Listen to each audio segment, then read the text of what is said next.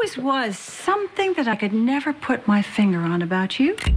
Tell me. Next Sunday, the nail biting, gut wrenching, heart stopping, Jack's walking into a trap. two hour season finale oh, with a confession you never thought you'd hear from Emily Thorne. Go away. This has nothing to do with you.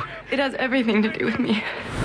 Revenge two hour season finale next Sunday, 9, 8 central on ABC. For a longer look at the season finale, go to ABC.